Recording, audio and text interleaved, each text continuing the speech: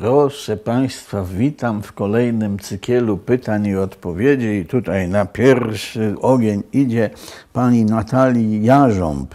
Witam ponownie. Dziękuję za dotychczasowe odpowiedzi, a oto kilka nowych pytań. Po pierwsze, czy pańskim zdaniem wprowadzenie postulatów lefebrystów przyniosłoby pozytywne skutki dla Kościoła?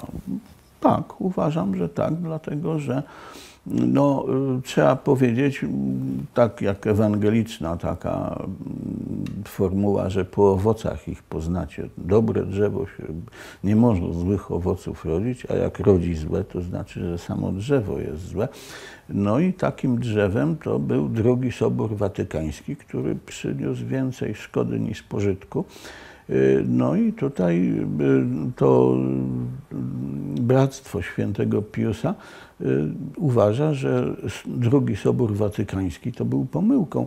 Nawiasem mówiąc, nawiasem mówiąc, to nawet nie Sobór był pomyłką, tylko ja przeczytałem taką książkę Roberto Di Mattei, o drugim Soborze Watykańskim i dzięki tej książce, dzięki tej lekturze zrozumiałem, co to znaczył tak zwany duch Soboru. Otóż była to konspiracja. Była to taka grupa lobbująca za rozwiązanymi, za rozwiązaniami takimi modernistycznymi. Ale tu ona działała, że tak powiem, w ramach soboru, tam biskupi i kardynałowie postępowi, ale ci tacy konserwatywni też tworzyli takie, takie lobby. Tyle tylko, że no, tamci byli bardziej operatywni. operatywni. No i pozyskali do, na swoje usługi takiego ojca Buniniego, który był autorem tych wszystkich śmiałych eksperymentów liturgicznych. Y, zmieniła się sama y, koncepcja mszy świętej. Bo o ile przed drugim Soborem Watykańskim msza święta była ofiarą, którą składał kapłan w imieniu wiernych i on nie był odwrócony do wiernych, bo to nie oni tutaj byli adresatami tej ofiary, tylko był zwrócony w stronę Pana Boga i tych wiernych tam przed nim, przed majestatem reprezentował. Natomiast po Soborze Watykańskim msza święta stała się ucztą. No i w rezultacie ołtarz, znaczy kapłan był zwrócony twarzą do y, wiernych, to mecenas Szczuka bardzo był z tego niezadowolony i twierdził, że kapłan stoi przy szynkwasie. No coś z tego było. W związku z tym y, pewna niedbałość zaczęła towarzyszyć tej liturgii. Ona jeszcze czasami przy większych uroczystościach to no, ma taką oprawę choreograficzną, ale, ale w wielu przypadkach nie ma. W związku z tym, jak no, liturgia powinna jednak. Bo co to jest? To, co to jest nabożeństwo? No, to jest taka prefiguracja Królestwa Niebieskiego, które nie tylko majestatem emanuje, ale i pięknem jeżeli liturgia jest sprawowana niestarannie, a niestety jest, no to oczywiście ci wierni myślą sobie tak, a właściwie co tam się tym przejmować wszystkim. Rzeczywiście myślę, że tutaj mm, intuicja y, pani jest trafna. Drugie pytanie. Czy popiera Pan karanie za obrazę uczuć religijnych? W jaki sposób należałoby rozstrzygać takie spory, aby nie popaść w absurd?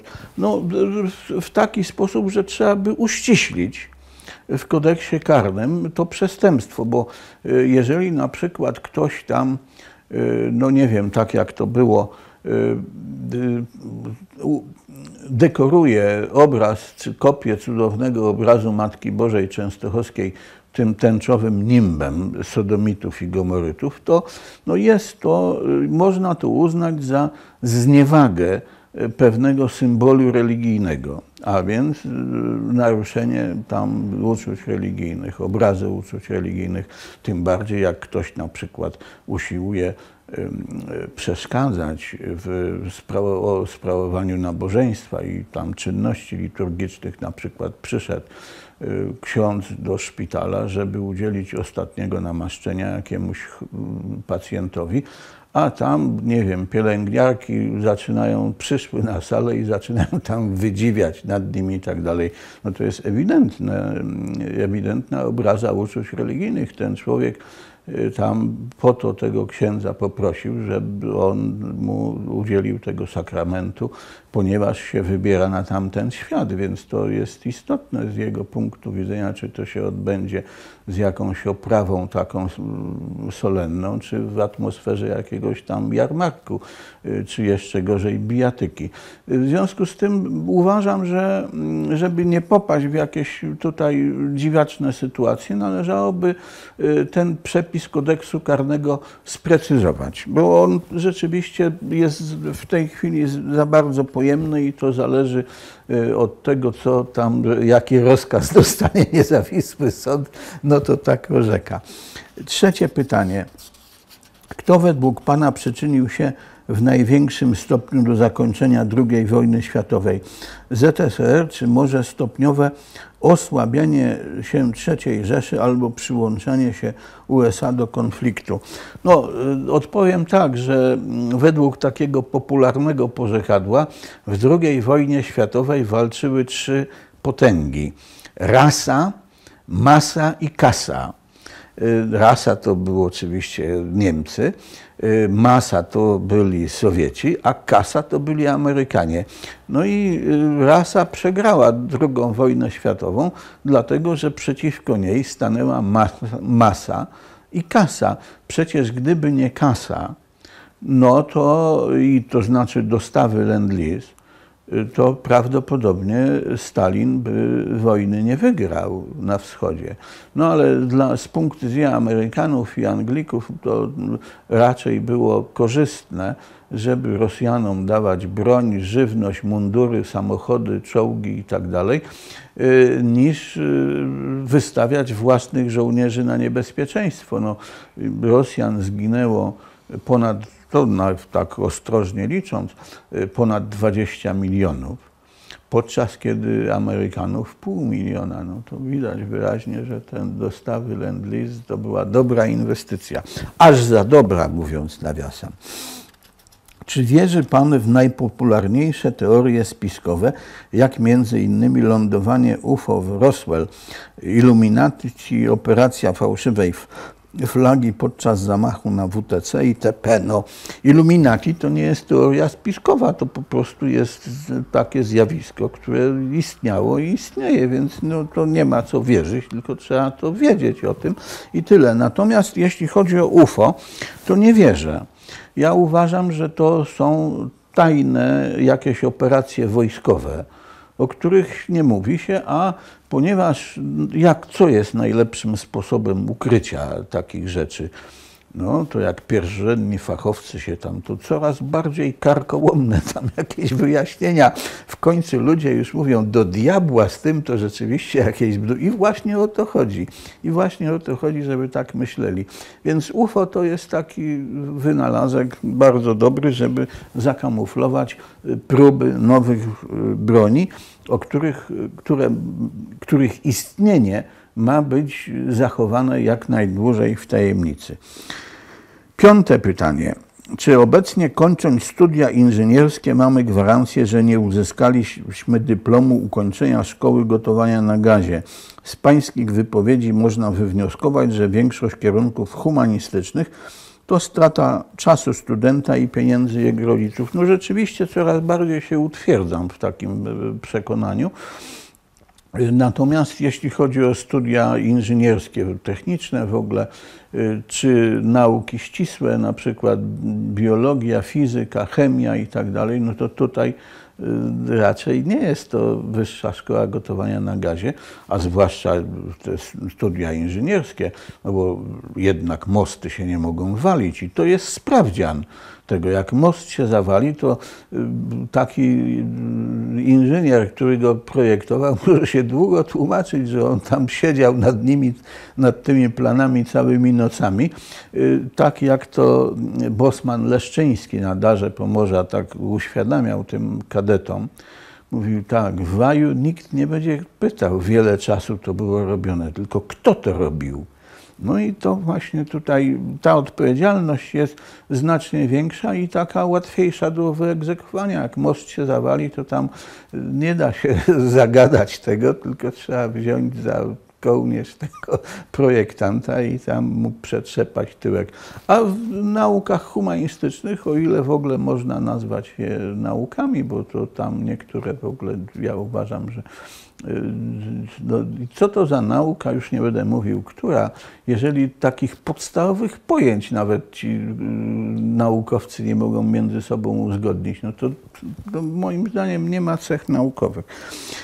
I pan Mirosław Myszor, Dzień dobry Panie Stanisławie. Dziękuję, że pochylił się Pan nad, po, poprzednim pytaniem. Dziś proszę zdradzić, co pan myśli w temacie ataków na turystów ze Śląska?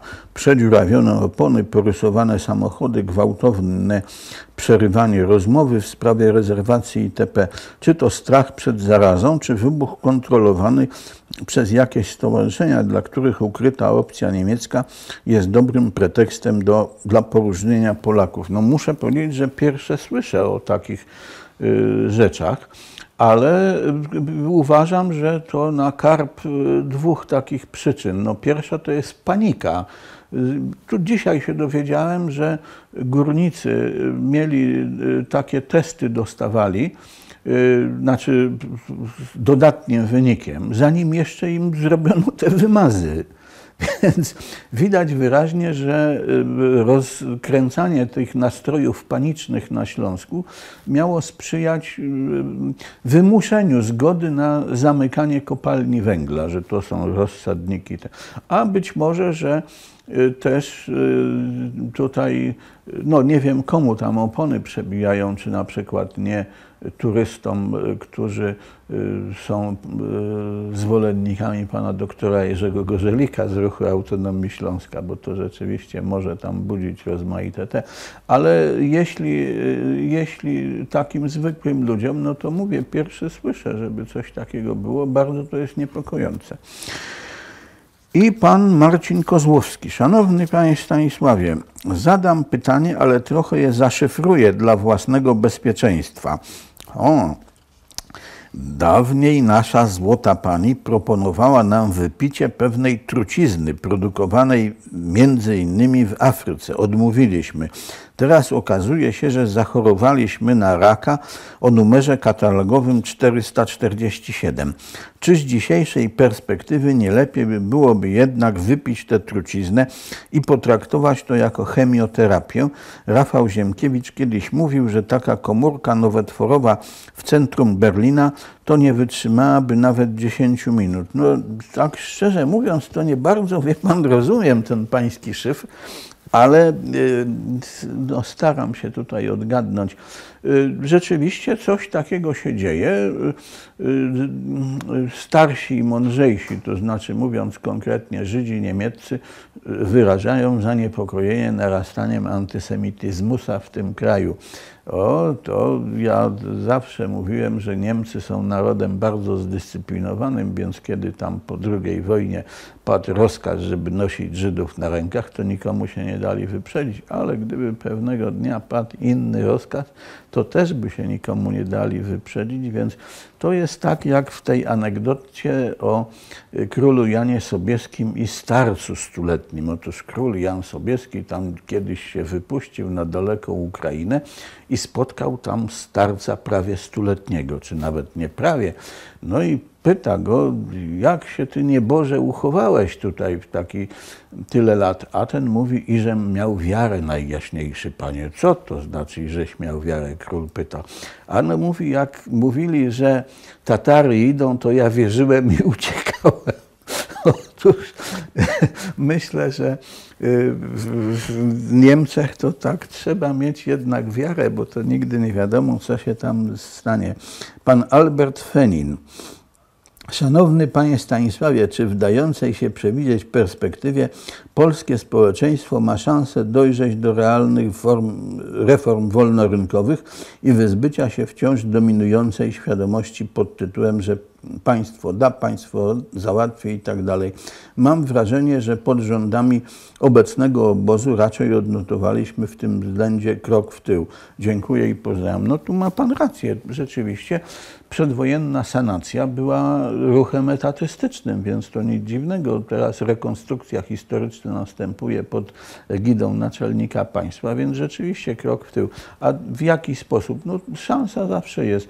Gdyby y, zlikwidować socjal, gdyby likwidować socjal, zacząć tu stopniowo go likwidować, no to ludzie sami, bo ludzi nie trzeba specjalnie uczyć tego, jak, na czym polega ich interes. Jeśli ktoś im coś daje w ich mniemaniu za darmo, no to nic dziwnego, że głupi ten, co daje, głupszy kto nie bierze, prawda?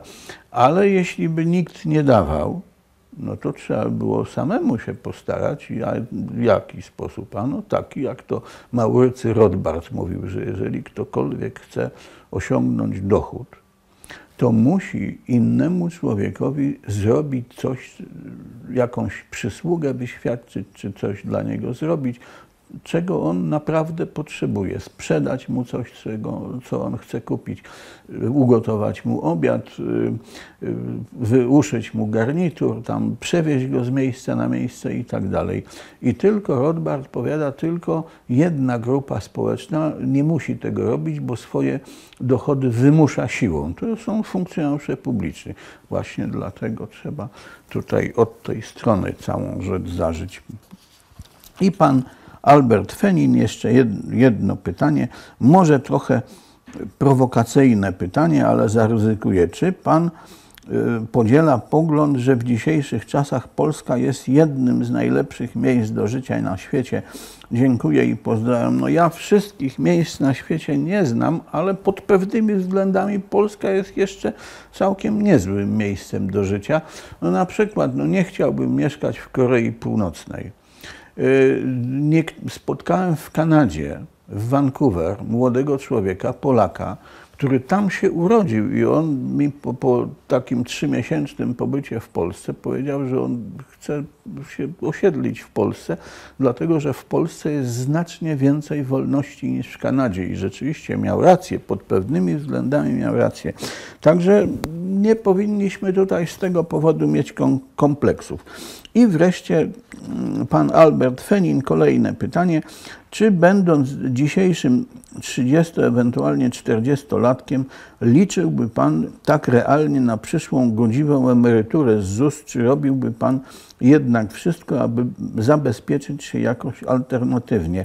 I jeszcze pokrewne pytanie, czy gdyby istniała wówczas dobrowolność w opłacaniu składek na ZUS, z czystym sumieniem by pan zaniechał ich opłacania? Serdecznie dziękuję i pozdrawiam.